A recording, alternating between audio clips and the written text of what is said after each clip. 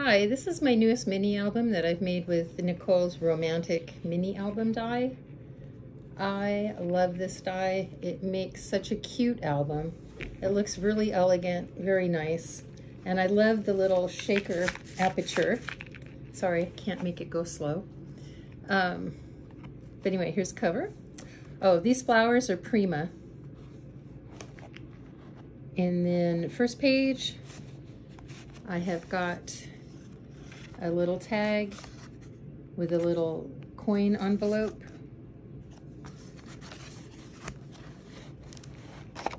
Second page, I have a waterfall. I'm not 100% sure. I think maybe the waterfall was made with a Nicole Banner die, but I don't promise that, but I think so. This little element here was made with a label die, and I'll, I'll show you the dies at the end. Um, I actually used the decorative center portion of her label die to, to make it fancy. This little die is from a magazine, so you probably won't find it anywhere. This is Nicole's belly band. I love, she's got like three or four different belly bands. Anyway, I love it. And all I did was I took that center portion from here and I just cut it out and I glued it on the belly band and I think it looks really sweet. And then I made three envelopes and those will just hold pictures or mementos, whatever.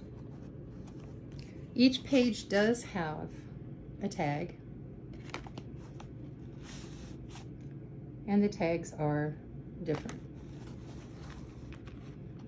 This page is kind of fun because it swings out this way. Here's its tag. And then its uh, other page swings out this way. And here's its tag. And the other tag. I can put those back. And then over here, I used the belly band going horizontally. And I've made three more envelopes. The little butterfly is from a Martha Stewart butterfly punch, but Nicole has her own little um, dies for butterflies that are really cute. And then this is a Stampin' Up uh, punch. I think it's called Mistletoe. Over here on this pocket, I have another little coin envelope. And they're all held with Velcro. All my envelopes have Velcro in the back. And then this is just a uh, Oh, look at that. I got some tape on it. This is just a little fold out that pictures could be put on. Just to hold more pictures. And then this page is fun because you pull it down and bingo, you have one of those twist and pops. this is made with an Anna Griffin die. But that's not the only fun with it. Look, you open it up and you have more. And there's the tag.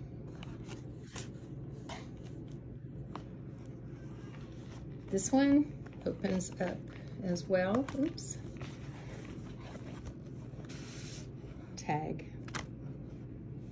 And I think, did I pull it? Oh, yes, okay.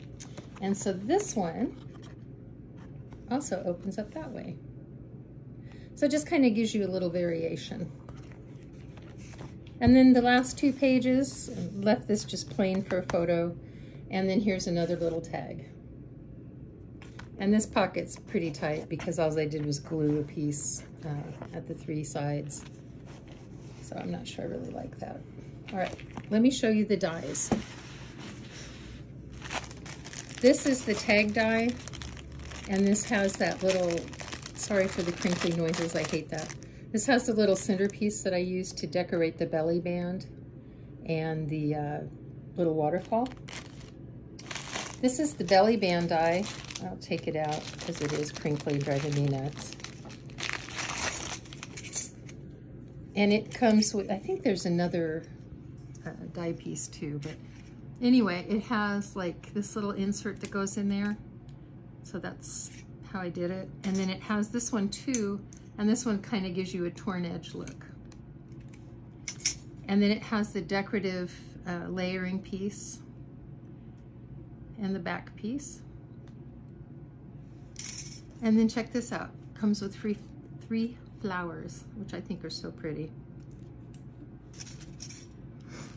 All right, the mini album itself is really a good deal. You get quite a lot for your money. You get, oops, the die that makes the pages, the die that makes the, uh, oh, what do you call it?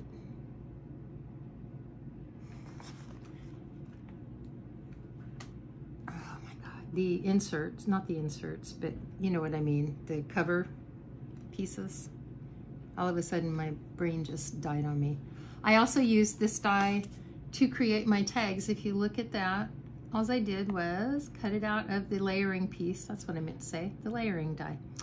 Um, and then I just cut off the edges and then I just cut off about an inch on the bottom and that made my tags. If you don't like making your own tags like I do, she's included a tag set. Check that out, complete with layering piece, which I think is wonderful. For the shaker, aperture, she's got this nice big die. And what I really like about this is it is really big. And so, and by big, I mean thick. And so I cut like six pieces of cardstock and just glued them together. You could use foam or whatever. Um, I just like a big layering area. I'm Some people can do it with this skinny little piece. I can't. And then you can use the skinny little piece to just make that pretty ring around it, accent piece. It comes with a spine and the back spine. And this is wonderful. You can cut as many of these as you want. Um, for my album, I made my own because I wanted to have a little bit more room between the pages. But this works just fine. You can cut three of these, glue them together, and then cut one of this piece and go for it. I'm sure Tracy will probably have a tutorial out about it. You get these leaves I love these leaves. They emboss while they cut. You get these flowers. Look at all these flowers you get. You get a lot of flowers in various sizes. And please excuse my kitty crying in the background. She just wants my attention. And then you get this wonderful little oval with the faux stitching. And then you get um, another oval that's just plain and another oval and then you get these two little sprays. I haven't pulled them off, obviously. I haven't used them yet. And then another little flower. And I think this die is less than $13, so it's really a good deal. Anyway, I hope you like this video. Hope you like seeing what I made. Um, this album's going to my daughter because she patiently films these things for me. So please hit the like button and subscribe. Thank you. Bye-bye.